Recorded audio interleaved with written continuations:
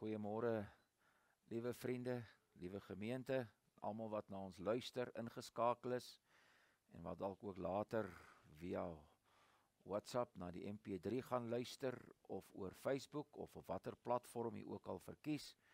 Ons groet u een en elkeen in die kosbare, wonderlike en oorwinnende naam van Jesus Christus, ons verlosser en ons saligmaker. Wat 'n wonderlike voorreg vir ons om vanmôre weer saam met u te kan wees. Dankie dat u by ons ingeskakel is waar u ook al mag, u self mag bevind en ons vertrou dat u 'n wonderlike rusdag uh saam met u vriende en familie sal deurbring. Kom ons sit so en dan bid ons saam en dan dra ons die oggend aan ons Vader op. Here, wat 'n wonderlike voorreg dat ons deur Jesus, u enigste seun, tot U vanmôre kan kom. Here, dankie dat ons U kan aanbid. U wat is, U wat was, U wat sal wees. Here, in U en deur U en tot U sê die skrif is alle dinge. En vanmôre is daar 'n dankbaarheid in ons harte vir U goedheid en U oorvloedige genade in ons lewens. En Here, dit is so dat ons kan seker kla oor baie dinge wat in ons land verkeerd is en dit wat ons beleef in ons eie lewens. Maar dan gaan sit ons stil. En dan kom die woorde van die haleluja lied in ons harte op. Tel jou seëninge. Tel hulle een vir een. En kyk dan wat God verleen. En as ons dit doen, Vader, dan besef ons dat ons nog soveel het om voor dankbaar te wees. Net die feit dat ons vanmôre nog steeds al kan ons nie by mekaar kom fisies by 'n plek van aanbidding nie. Maar die feit dat ons die woord van die Here kan verkondig. Al is dit oor 'n dooie medium soos die internet soos wat ons dit vanmôre doen. Here, dank ons U dat die woord nog steeds kan uitgaan en dat die woord van God nie gebonde is nie. En dat niemand dit kan bind nie, al wil ons. Dankie Here dat U op wonderbaarlike wyse met mense werk, ook met ons. Ons dankie vir ons families en ons vriende en ons gesinne en ons kennisse Ons wil vanmôre vir mekaar opnuut kom bid. Here dat ons in hierdie dae nie angstig om ons sal rondkyk nie, maar soos wat ons besig is om uit u woord te leer, die oë gefestig op Jesus. Daar waar u ook vanmôre aan die regterkant van die troon van God gaan sit het. Ons aanbid u en ons dankie vir die geleentheid vanmôre om saam met mekaar die woord van God te kan open en dit te kan oordeenk. Ons dankie vir die tere, soete, dierbare gees van God wat U gestuur het om nie net langs ons te wees nie, maar in ons te woon om U self in ons harte en lewens te verteenwoordig en ons ook te herinner aan die wonderlike waarhede opgesluit in die onfeilbare woord van God. En ons wil vanmôre kom vra Here dat U met elkeen van ons sal kom ontmoet. Elke behoefte wat daar ook al mag wees soos Paulus gebid het dat U dit sal kom vervul na die rykdom van U genade. Ons bid vir elke plek waar U woord vanmôre verkondig word. Here, daar waar dit in die krag en die volheid van die Heilige Gees gedoen word gebruik dit tot die eer van God se naam en die uitbreiding van u koninkryk op aarde en die redding van kosbare siele. Baie dankie dat ons hierdie dinge vanmôre kan bid in die alles oorwinnende naam van ons koning Jesus Christus. Amen. Ons gaan saam lees uit die woord van die Here vanmôre uit Hebreërs hoofstuk 12, net die eerste 4 verse met mekaar saam. Daarom dan terwyl ons so 'n groot wolk van getuies rondom ons het, laat ons ook elke las af lê en die sonde wat ons so maklik omring en die wedloop loop wat voor ons lê, die oog gefestig op Jesus, die leidsman en die volëinder van ons geloof, wat vir die vreugde wat hom voorgehou is, die kruis verdraai het, die skande verag het en aan die regterkant van die troon van God gaan sit het. Want julle moet ag gee op hom wat so teespraak van die sondaars teen hom verdraai het, sodat julle in jul siele nie vermoeid word en verslap nie. Julle het nog nie ten bloede toe weerstand gebied in julle stryd teen die sonde nie. Net tot daar die woord van die Here vanmôre. Nou in die afgelope Sondag praat ons met u oor hierdie wedloop waarin jy en ek betrokke is, die pad wat jy en ek moet loop. En verlede week het ons so 'n bietjie met u gesels oor die gedagte oor hoekom uh moet ons ons oë op Jesus Christus hou. Hy word vir jou en my as voorbeeld voorgehou uit die kosbare woord van Christus.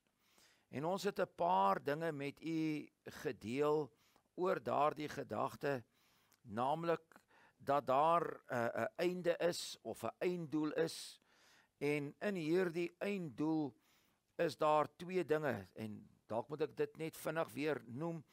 Uh wanneer ons praat oor die einddoel word in hierdie sinsnede vir ons saamgevat wat vir die vreugde wat hom voorgehou is.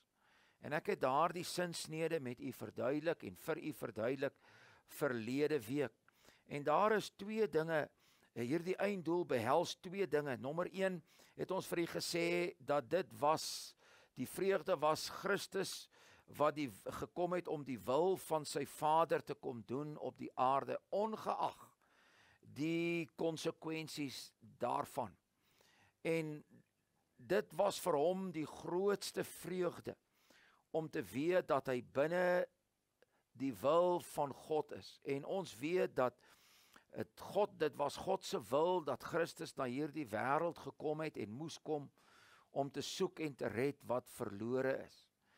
En dit was sy einddoel. Dit was die doel waarmee en waarom hy gekom het na hierdie aarde is om dit as tussenganger, om as verlosser en saligmaker van hierdie wêreld en van die mense in die wêreld moet ek eintlik seker sê te kan optree. Ek het gekom om te soek en te red wat verlore is, was Jesus se woorde in Lukas 19 vers 10. Maar toe hy hierdie werk gedoen het, toe hy hierdie werk voltooi het, nadat hy gekruisig is, nadat hy begrawe is, nadat hy opgestaan het uit die dode, lees ons in die woord van die Here dat hy opgevaar na die hemel en die Bybel sê hy het aan die regterkant van die troon van God gaan sit. En daardie woorde gaan sit beteken dit is 'n uh, dit konstateer nie net 'n feit nie, maar dis 'n afgehandelde daad. God het klaar, Christus het klaar die werk wat hy gedoen het, kom doen het op hierdie aarde het hy afgehandel. Dis klaar gedoen. Daar is niks meer wat jy en ek kan doen om daarby iets te voeg en by te doen. Jesus het alles gedoen wat nodig is om verzoening te bewerk vir jou en my. En nou wil ons vanmôre met u verder gaan oor hierdie gedagte van Jesus as voorbeeld en waarom hy as 'n voorbeeld vir ons voorgehou word. En ek gaan met u praat oor hierdie gedagte vanmôre. Die kroon kos 'n prys. Die kroon kos 'n prys. Om hierdie einddoel te kon bereik, het dit Jesus iets gekos. En dit is die rede waarom hy homself as 'n voorbeeld vir jou en my kan kom voorhou. Wanneer die woord van die Here vir ons sê dat ons hierdie wolk van getuies rondom ons het, Nie net die voorafgaande kinders van God wat deur die jare en die eeue geleef het wat ons as 'n ware as toeskouers vanmôre aanmoedig om hierdie wedloop te loop nie. Terwyl ons besef dat jy en ek die verantwoordelikheid het om elke las af te lê en die sonde wat ons so maklik omring, want dis hierdie dinge wat ons terughou om hierdie wedloop met ywer en toewyding en volharding te hardloop. Moet ons dit doen met die oog op Jesus. En hy is die voorbeeld want hy is die leidsman en hy is die volëinder van ons geloof. Ons begin en ons einde is in hom. Want hy het 'n doel gehad, die vreugde wat hom voorgehou is. En hier kom ons nou by die prys wat hierdie oorwinning Christus gekos het. Hier kom ons by die prys wat hierdie kroon uh die Here Jesus uh wat hy moes betaal om hierdie kroon te ontvang, hierdie einddoel te bereik. Want vriende, niks kom sonder opoffering. Niks kom sonder 'n prys nie. Ook vir jou en my as kind van God gaan dit iets kos om die Here Jesus te dien. Nie rand en sent nie. Dit gaan ons lewe kos, dit gaan ons self kos, dit gaan ons toewyding kos. Dit gaan 'n lewe kos wat aan Christus Jesus oorgegee en oorhandig is want dit het Jesus iets gekos. En wat het dit Christus gekos? Kom ek deel met u 'n paar dinge vanmôre. Die woord van die Here sê vir ons in vers 2. Hy het die kruis verdra. Hy het die kruis verdra. Nou kom ons praat net so 'n bietjie oor hierdie woord verdra. Hierdie woord is die Griekse woord hypo meno. En dit beteken wel dit kan 'n paar dinge beteken en ek gaan vir u so 'n paar betekenisse gee dat net net dat u kan verstaan wat God se woord vir ons wil sê wanneer die Bybel sê Christus het die kruis verdra. Hierdie woord kan beteken om jou grond te staan. Met ander woorde Christus het nie teruggeduins nie. Baie mense dink dat toe hy aan die in die tuin van Getsemane vir sy Vader gebid het, Vader, neem hierdie beker van my weg. Dat hy teruggeduins het vir dit wat vir hom voorlê. Nee, liewe kind van God, nee, liewe vriende, hy wou seker maak dat hy binne die wil van sy Vader was want dit was die vreugde wat hom voorgehou was om seker te maak dat hy binne die wil van sy Vader was. Dit was nie 'n terugdeinsing nie. Hy het sy grond gestaan. Selfs selfs toe hy uh uh onregverdig behandel was, onregverdig uh, uh gevange geneem is, onregverdig nie net voor die hoë priesters verskyn het en voor Herodes en voor Pilatus nie. Christus het sy grond gestaan. Hy het die kruis verdra. Hierdie woord kan ook beteken om uit te hou. Om uit te hou deur al daardie stryd en lyding vanaf Getsemane tot waar hy aan die kruis van Golgotha vasgespijker is het hy uitgehou. Ons kan ook die woord gebruik volhard en dit is die woord wat gebruik word met betrekking tot jou en my verhouding wanneer ons hierdie wedloop loop en wat ons op aarde het, die woord van die Here sê en met volharding die wedloop loop wat voor ons is. So het Christus sy wedloop waarin hy was wat vir hom opgelê was, wat vir sy lewe beskore was, wat God vir hom ten doel gehad het, moes Christus verdra. Hy moes volhard. Hy moes uithou tot aan die einde. Maar dit beteken ook onder hierdie beproewinge, want dit is wat die woord hypo beteken, is onder. Met ander woorde, hierdie beproewinge was op Christus gelaai. Hierdie hierdie uh uh uh uh stryd waarin hy was.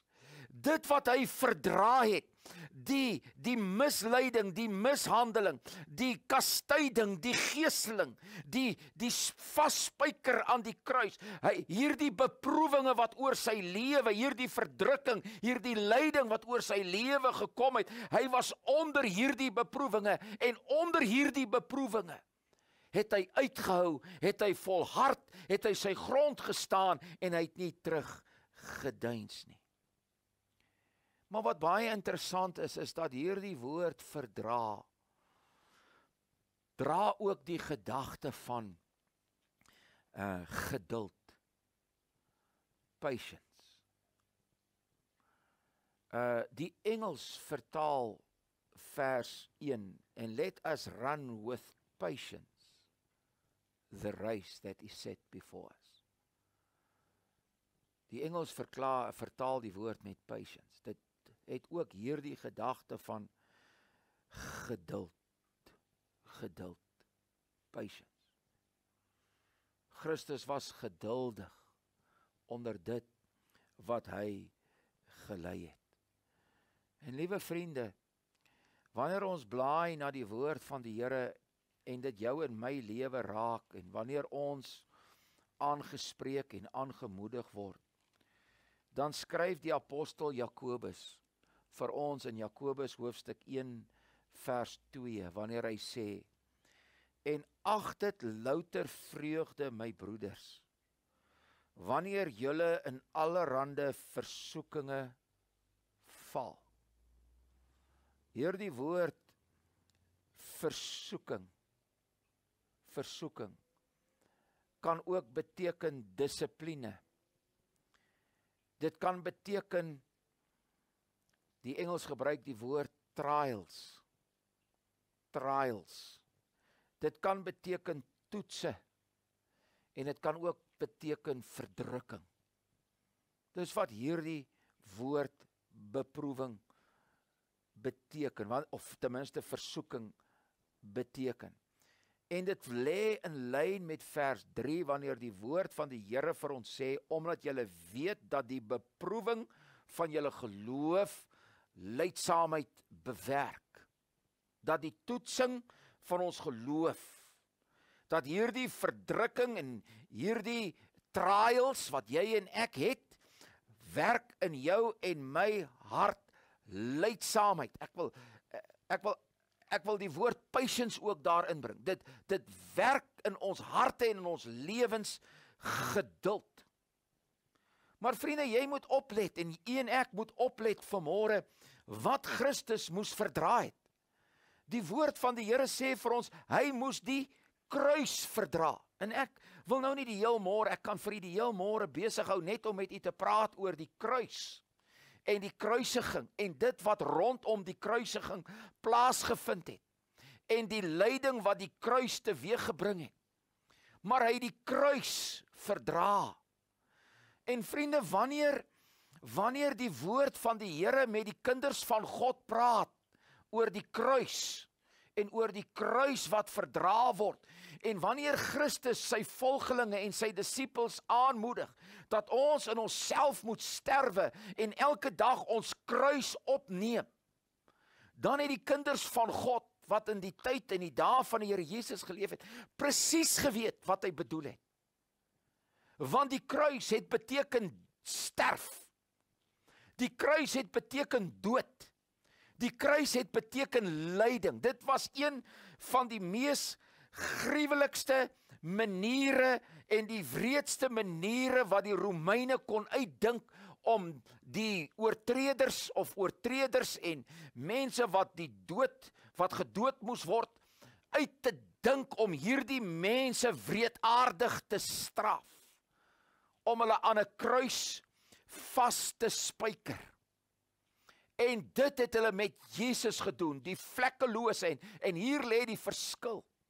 Christus was saam met die oortreders getel, sê die skrif vir ons en sê die woord van God vir ons. Maar tog, maar tog leer die Bybel vir ons dat hy sonder sonde was. En God het hom wat geen sonde geken het nie, sonde gemaak sê die apostel Paulus in 2 Korintiërs hoofstuk 5. Met ander woorde, Christus moes sonde gemaak word sodat hy aan hierdie wrede kruishout kon sterwe. En vriende, Christus doen dit. Christus verdra dit om hierdie prys, hierdie einddoel van vreugde in sy lewe te ervaar om binne die wil van sy Vader te wees en en wanneer hierdie taak afgehandel is te kon gaan sit aan die regterkant van die troon van God in die hemel. Hy het geweet, Christus het geweet, Jesus het geweet dit gaan 'n prys kos. Dit gaan vir hom iets kos. En net so ook waar vir jou en my. Ons gaan bietjie later iets daaroor sê. Maar dis die eerste wat u moet raak sien. Hy het die kruis verdra. Luister wat sê die tweede gedagte hier vir ons. En dit is die woord van die Here sê vir ons, hy het die skande verag. Hy het die skande verag. Nou hierdie woord skande in die oorspronklike taal beteken net eintlik dit wat hy sê skande. Die die Engels praat van it's a disgrace, it's a disgrace. Dit dra ook die betekenis betekenis van iets wat oneerlik is, wat jou toegedoen word wat onregverdig, onbillik, oneerlik is, wat aan iemand gedoen word. En vriende, nou kan u vir u self dink die skande van die kruis daar is nie net 'n skande aan betrokke nie, daar is 'n vervloeking aan betrokke as jy na die woord van God kyk en jy lees die woord van die Here wanneer die Bybel sê vervloek is enige mens of elke mens wat aan 'n paal hang, wat aan 'n kruis hang. En Christus moes daardie skande moes hy deurmaak. Hy moes dit beleef, hy moes dit ervaar. En en en wat dit nog erger maak as u dink aan uh toe Christus aan die kruis van Golgotha hang. Baie mense en baie prentjies en tekeninge sien nie dat Christus so uh, dat hom teken met iets om sy om sy middel aan. Hy het naak aan die kruis gehang. Daar was nie iets wat enigsins iets bedek het nie. En vriende, kan u hierdie openbare skande wat Christus gedraai het, moes lê daar aan die kruis Hierdie dinge moes hy deurmaak om die kroon te ontvang. Die kroon het 'n prys gekos. Die kroon vir Christus het 'n prys gekos. Die skande die skande van hierdie dood wat hy moes sterwe. En die woord van God sê vir ons dat hy het hierdie skande verag. Nou wat beteken hierdie woord verag? Hierdie woord verag beteken to think against. Met ander woorde, terwyl dit skande was aan die een kant en hy eintlik van hierdie skande af wou wegvlug en sekerlik wou wegvlug as dit enigsins binne die wil van sy Vader in die hemel was. Het hy daarteen besluit, het hy daarteen gedink. Dis waar dit op neerkom. Met ander woorde, dit wat Christus aan die kruis gelei het, het hom nie onder gekry nie. Hierdie woord beteken om te verontagsaam, om sy rug daarop te draai. So wat sê die woord van die Here vir ons eintlik? Dat Christus as hy die kruis af die skande verag het, het hy sy rug op die skande gedraai. Hy het liewer die skande gelei. Hy het die rug daarop gedraai om nie daarvan weg te vlug of dit te ontvlug of daarvan weg te kom nie. Hy het hy het heeltemal te vrede gemaak in sy hart, sy gemoed en sy lewe dat dit is die prys wat hy sou moes betaal. Is hierdie skande. Vriende, jy en ek is sekerlik al in tye in ons lewens uh uh as ek die uitdrukking kan gebruik op die spot gesit. En uh het ons dalk al so vy geleentheid bietjie rooi in die gesig geword as gevolg van iets wat gebeur het of iets wat aan ons gedoen is. Skande wat jy en ek oorgekom het. En dink net hoe sleg het jy gevoel. En dink net wat dit se uitwerking het op jou en my gehad. Wanneer ons in die verleentheid gestel word en wanneer daar skande oor jou en my kom. En ons moet nog steeds die mense in die oë kyk. En nog steeds die wêreld in die oë kyk. Christus se was baie erger. Christus het baie meer gelei as wat jy en ek ooit in ons lewens kan dink om deur te maak. Maar hy het geweet die kroon kos 'n prys. Want is eers wanneer jy en ek in die hemel kom wanneer ons die kruis verruil vir 'n kroon. Bietjie later ietsie daaroor. Hy het die skande verag. So dis die tweede ding waarin Christus vir ons 'n voorbeeld is of die voorbeeld wat hy vir ons gelos het en gestel het. Maar daar's 'n volgende ene.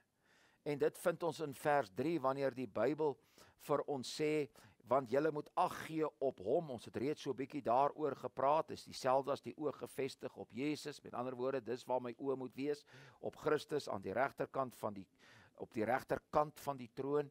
Maar luister wat sê die woord van die Here vir ons op hom wat so 'n teespraak van die sondaars teen hom verdra het.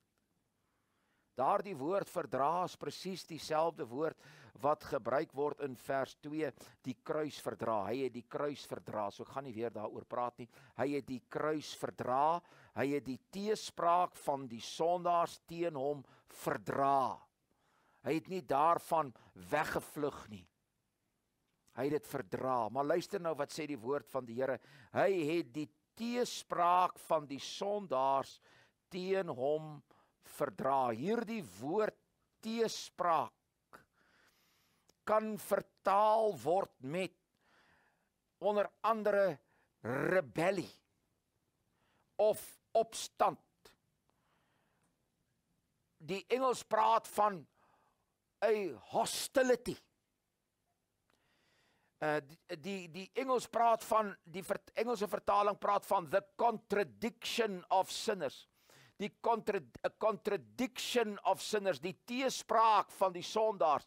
En daarin lê is daar eintlik 'n 'n 'n 'n wonderlike gedagtes as jy net hierdie as jy net hierdie sinsnede bietjie begin oor nadink en bepeins die teespraak van die sondaars. Met ander woorde Iemand wat hom teëgespreek het, iemand wat hom teëgegaan het, iemand wat hom teëgestaan het, maar die ironie is dat die mense wat hom teëgestaan het was sondaars en die persoon wat hulle gekruisig het was die heilige seun van God. En die ouens wat hom veroordeel het en die mense wat verwag het en geskreeu het vir sy kruisiging was die mense wat self gekruisig moes word. Dis die mense wat skuldig gestaan het. Dis dieselfde mense wat as hulle in 'n in 'n in 'n in 'n hof moes staan en hulle self moes verdedig. Sou daar soveel goed teen hulle gehou kon word en opgebring kon word en genoem kon word. Hierdie selfde mense staan teenoor Christus. Hierdie mense wat skuldig is, staan teenoor die vlekkelose seun van God en hulle wys die vinger aan na hom. En hulle beskuldig hom. En hulle hoon hom. En hulle spot hom. Hierdie mense roep weg met hom. Hy het die teespraak van die sondaars teen hom verdra. Vriende, daar was met uitsondering was almal teen hom. Almal het teen hom gedraai. Selfs sy eie disippels het dalk nou nie teen hom gedraai as sulk as self nie, maar hulle het weggehardloop. Die enigste disipel wat by die kruis en by die kruisiging was, waar hy hierdie aaklige prys van sonde vir jou en my moes betaal het, was die apostel Johannes saam met sy moeder en 'n aantal vrouens wat Jesus liefgehad en hom gevolg en hom gedien het. Dis die enigste mense wat by die kruis gestaan het. En dit was eers na sy sterwe, nadat hy die laaste asem uitgeblaas het, dat die soldaat, die hoofman moes erken waarlik, dit was 'n regverdige man wat ons gekruisig het. Dit was tydens sy kruisiging dat daar een rower aan die kruis nadat almal teen hom gedraai het, een persoon aan die kruis na Jesus gekyk het en gesê het: "Here, dink aan my as jy kom in die koninkryk." Die res was almal teen hom. Hulle het teen hom gedraai. Hy het die teespraak van sondaars, van mense wat self die dood verdien het, het Christus verdra.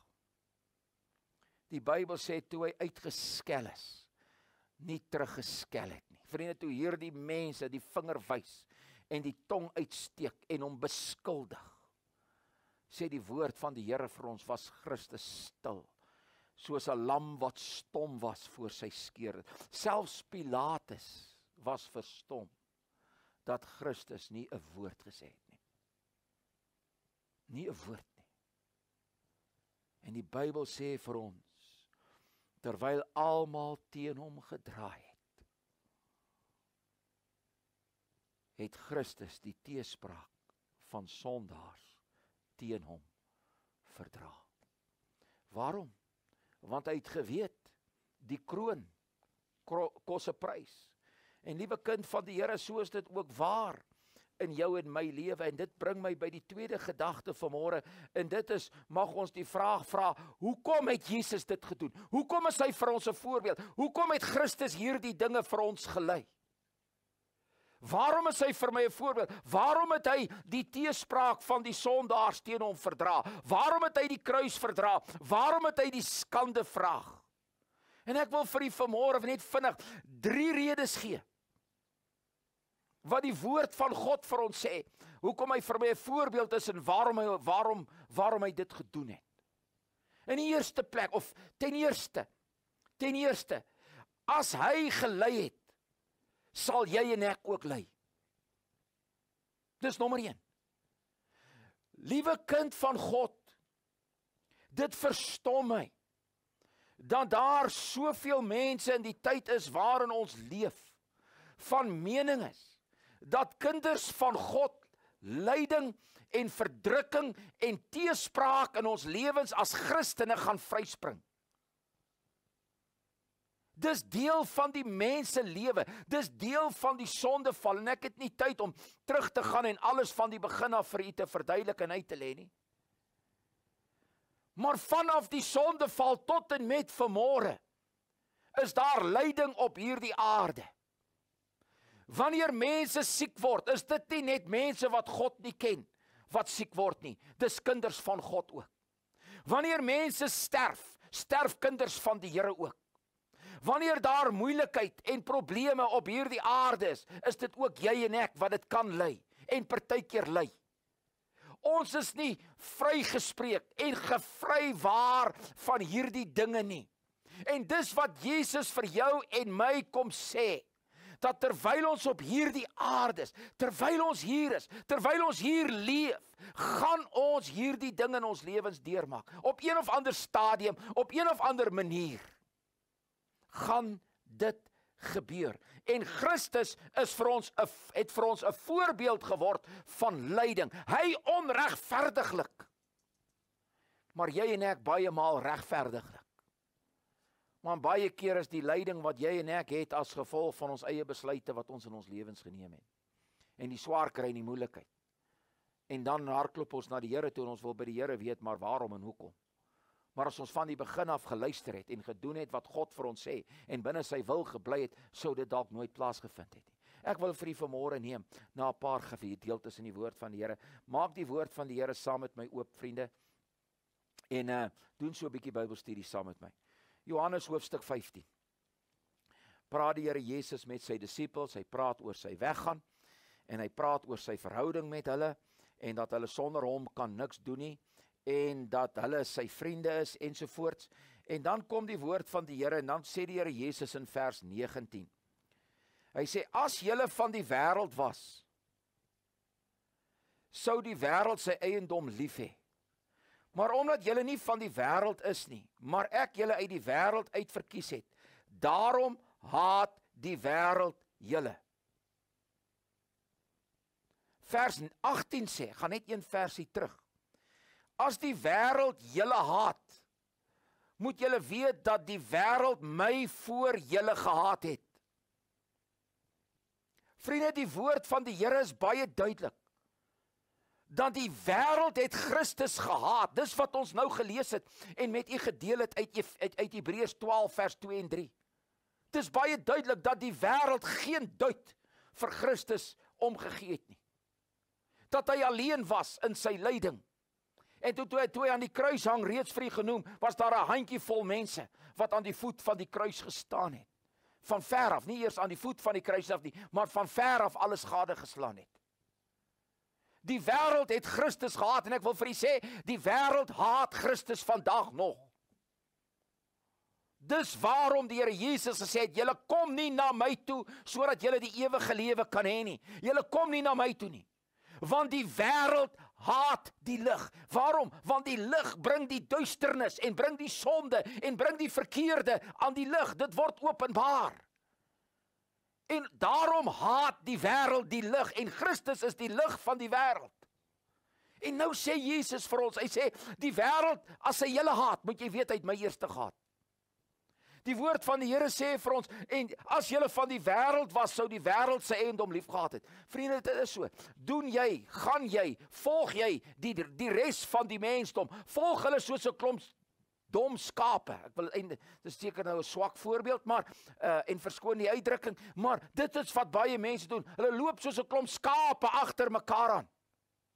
En die wêreld 'n 'n 'n 'n klap vir jou hande. Daar is applous vir jou. Maar die oomblik wanneer jy en ek as kind van God opstaan vir Christus Jesus en ons leef ons lewens toegewyd heilig aan God, drie-enig, dan word ons uitgejou en uitgekruit en ons is ons is konservatief en ons is uh, uh, noem maar die dinge en dink maar aan die byvoeglike naamwoorde wat aan kinders van God baie keer toegesnou word.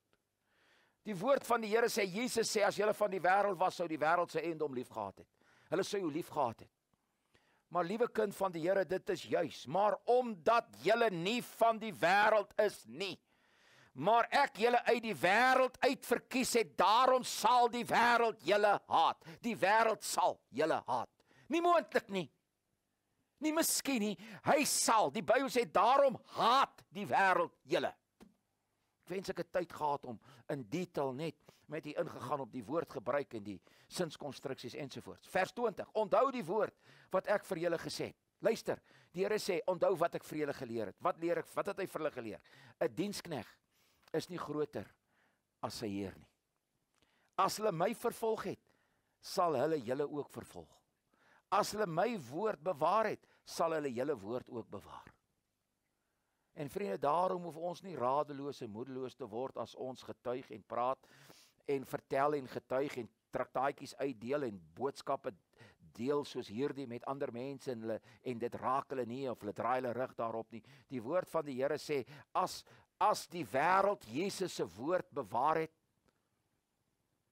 sal hulle ons sin ook doen. Sal hulle ons sin ook doen maar al hierdie dinge sal hulle aan julle doen ter wille van my naam omdat hulle hom nie ken wat my gestuur het nie. Vriende, die wêreld ken God nie.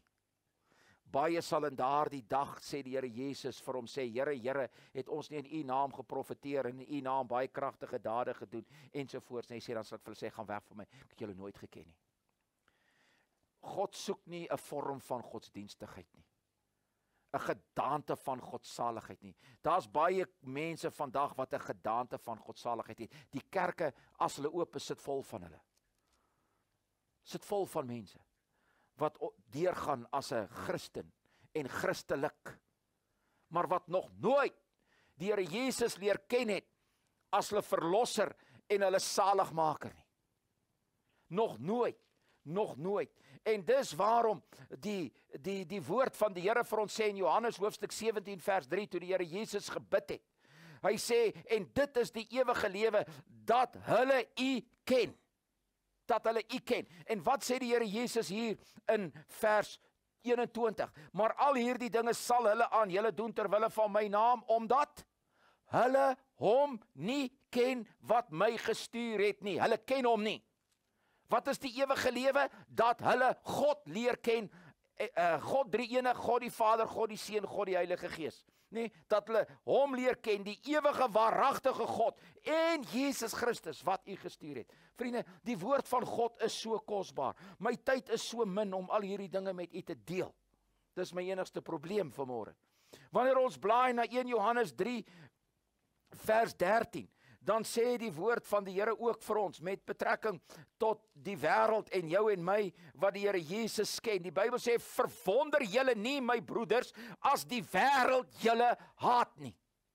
Ons moet onsself nie verwonder nie. Liewe kind van God, as Jesus dit gelei het, gaan jy en ek dit lei. Luister wat sê die woord van die Here in Johannes 16 vers 33. En dit het ek vir julle gesê dat julle in my vrede kan hê. In hierdie wêreld sal julle of moet ek liewer sê in die wêreld sal julle verdrukking hê, maar hou goeie moed, ek het die wêreld oorwin. Wat sê God vir sy kinders? In hierdie wêreld, in die wêreld waarin jy en ek vandag onsself bevind, gaan ons wat hê? Verdrukking.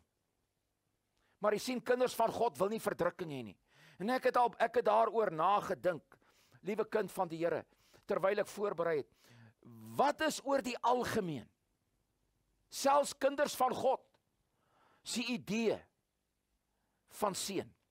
As ons sê die Here is goed vir ons en die Here seën ons. Wat is oor die algemeen, die algemene idee wat mense het wanneer hulle praat oor seën? Kom ek sê vir u. Dis gewoonlik materialisme. Gewoonlik in die vorm van geld. Dis hoe mense seën sien. As dit met jou goed gaan, as daar as jy nie siek is nie, as jy 'n werk het, as jy kos het, as jy die mooiste kar het en die mooiste huis en alles is mooi en goed en wat ook al, dan o, die kyk hoe seën die Here my. Vriende, dis nie seën nie. Dis aardse besittings. Wat jy in een oomblik kan verloor. Wat ek in een oomblik kan verloor. Want dis wat God, dis wat Jesus vir die ryk man gesê het wat gesê het ek het baie goed wat bymekaar gemaak is vir baie jare. Neem, eet, drink, rus. My siel, jy het goed gedoen. En wat sê die Here vir hom? Jy's 'n dwaas. Want in hierdie nag sal hulle jou siel van jou afeis en dit wat jy bymekaar gemaak het, wie sin is dit? En jy sien vriende, dis wat die kerke vandag vir jou bied. Hulle sê doen dit en doen dit en gee dit en en woon dit by en doen en maak so dan gaan dit met jou goed gaan.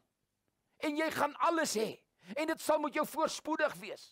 En baie word daar baie keer word daar ook vir jou en my gesê, wanneer dit met jou sleg gaan, is dit as gevolg van die feit dat jy ongelowig is en dat jy nie op God vertrou nie en dat jou geloof nutteloos is en omdat jy nie genoeg vir God doen en nie genoeg vir God gee veral finansiëel gee vir die kerk nie.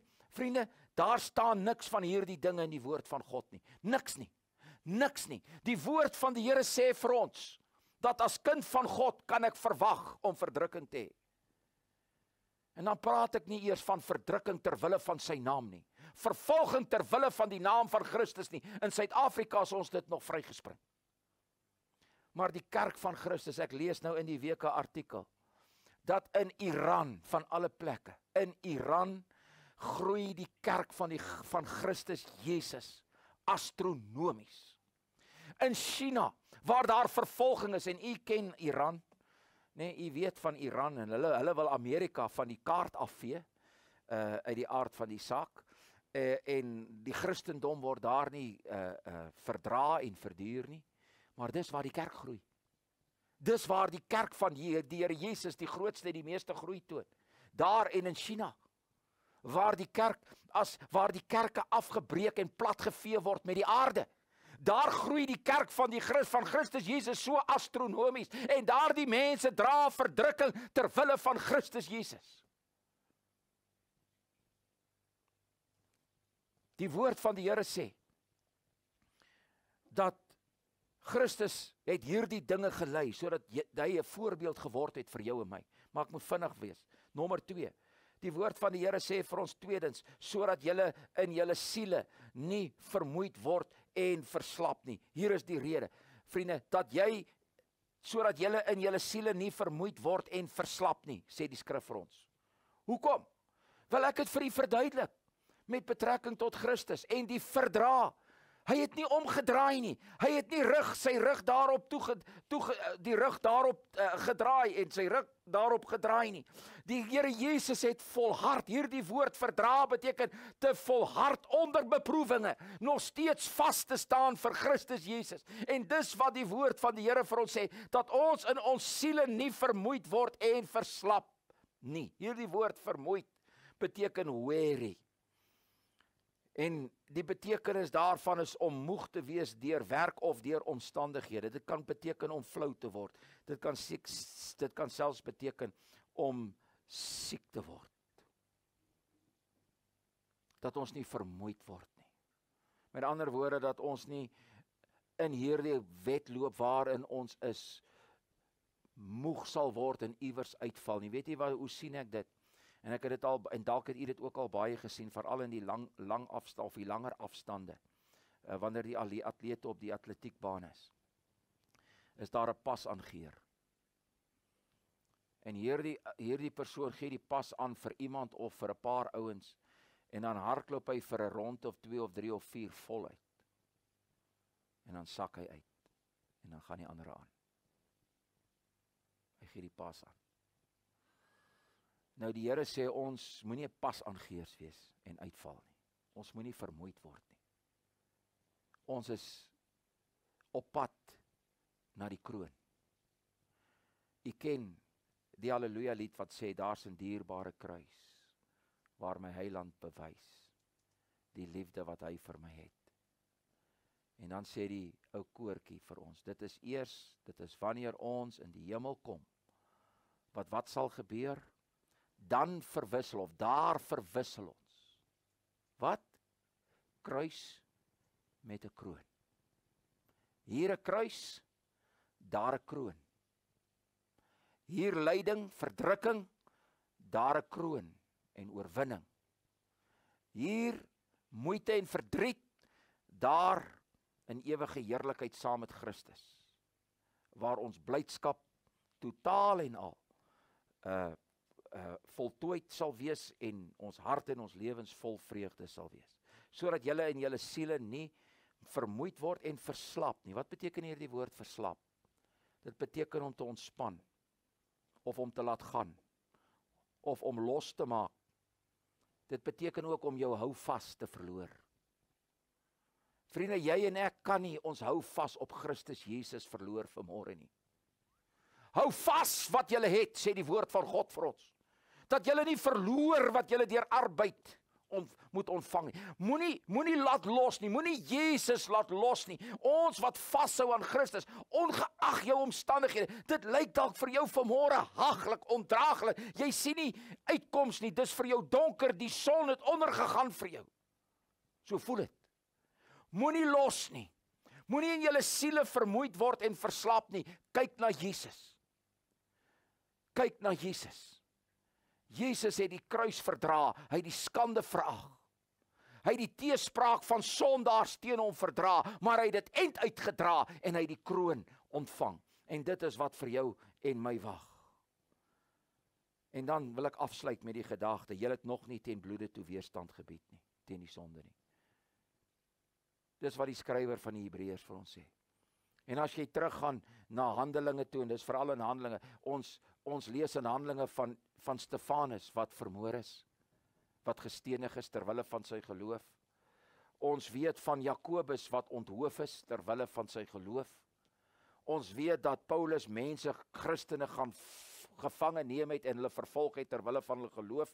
Daar is 'n paar mense in die woord van die Here in die Nuwe Testament waarvan ons hoor wat ten bloede toe weerstand gebied het, wat ten met ander woorde, hulle het selfs met hulle lewe betaal. Hulle het selfs hulle het selfs gebloei vir hulle geloof en hulle saak en hulle lewe vir Christus. Ek wil vir u vra vanmôre. Het jy net dit al gedoen? Was ons al daar? Hy sê nee. Jy het nog nie ten bloede toe wees. Jy het nog nie so gelei.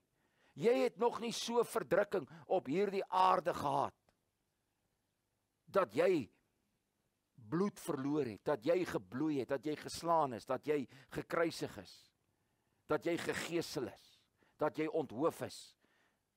Daar is kinders van die Here in sy kerk wat deur die jare dit moes deurmaak en wat daardie hoogste prys vir hulle liefde vir Christus betaal het. Liewe kind van die Here, jy en ek vanmôre in Suid-Afrika is nie naby daardie punt nie. Ons kan nie kla nie, ons behoort nie te kla nie. Wat jy en ek vanmôre moet doen is om met volharding die wedloop te loop wat voor ons lê. Waarom? Want want die kroon kos 'n prys. Terwyl jy op hierdie aarde is, gaan daar iets wees wat God van jou en my vra. Daar gaan moeilikheid wees, daar gaan lyding wees, daar gaan verdrukking wees. En jy en ek gaan hierdie dinge baie keer dalk deurmaak om by die kroon uit te kom. Die Here Jesus is ons voorbeeld en liewe vriende, liewe kind van die Here, dis die boodskap, dis die woord van God vanmôre aan jou en my in ons huidige omstandighede in Suid-Afrika. Ja, ons kla en ons murmureer en ons is ongelukkig oor baie goeters en dit is so. Ek sê nie ons moet alles maar net gelate aanvaar nie. Daar is is daar iets is wat jy en ek kan doen en opstaan teen onregverdigheid en ongeregtigheid, dan moet ons dit seker sekerlik doen, maar op die einde van die dag jy en ek moet ons oë vanmôre waarhou op Jesus. Ons leidsman, volleinder van ons geloof wat aan die regterkant van die troon gaan sit het. Waarom? Want soos hy gelei het, sal ons ook kan sal ons ook lei. Soos wat hy die prys betaal het, gaan jy en ek dalk 'n prys moet betaal. Maar na die na die prys kom die kroon. Na ons aardse lewe kom daar 'n kroon. En eers dan rus ons ook ten volle. Mag die Here hierdie woord gebruik om u te bemoedig en vir u te seën. Amen. Here baie baie dankie vir die feit dat ons vanmôre kon stil staan by u woord. Dankie vir dit wat ons kon leer. En Here dat u net weer eens vir ons kom herinner aan dit wat u moes deurmaak om my te kon loskoop van my sonde. Sodat ek ook vanmôre die getuienis in my hart kan dra dat ek kind van God is. Dankie vir elkeen wat vanmôre daardie selfde getuienis in hulle harte omdra. Dankie vir dit wat U vir hulle doen. En Here, ek weet daar is vanmôre mense waar dit moeilik gaan. Daar is dalk lyding in die familie. Daar is dalk siekte, daar is dalk finansiële stryd en opdraand. Daar is dalk dood, daar is dalk verdrukking op een of ander manier. Maar Vader, op die einde van die dag weet ons dat as u deur al hierdie dinge gegaan het en u nog steeds volhard volhard het en nie opgegee het nie en nie vermoei uh, uh, vermoeid geraak het in u siel en nie verslap het nie maar dat u verdra het en dat u standvastig daarin was end uit want u het geweet daar is 'n einddoel daar is 'n prys te verkry daar's 'n kroon om uit die hand van God te ontvang. Net soos daar vir my ook vanmôre en vir ons as kinders van God 'n loon en beloning. En dat ons hierdie wedloop waarin ek is, want elkeen sin verskil. Here, myne is anders as iemand anders se. Myne is anders as die pad wat die Vader vir u gehad het. Maar myne moet ek stap saam met u. En dankie dat u my nie alleen los nie. Dankie dat u ons uh, dat u saam met ons is, dat u in ons is. Dat u uh uh uh ons help, dat u vir ons bystaan, dat u vir ons genade gee. Maar Here dat u ook uitkoms gee daar waar nodig en soos wat nodig is in ons lewens. Ons bid vir mekaar, Here, dat ons met die oë op Jesus met volharding ons pad sal loop waarop U vir ons geplaas het en dat ons binne die wil van God sal bly vir alles wat ons doen. Amen.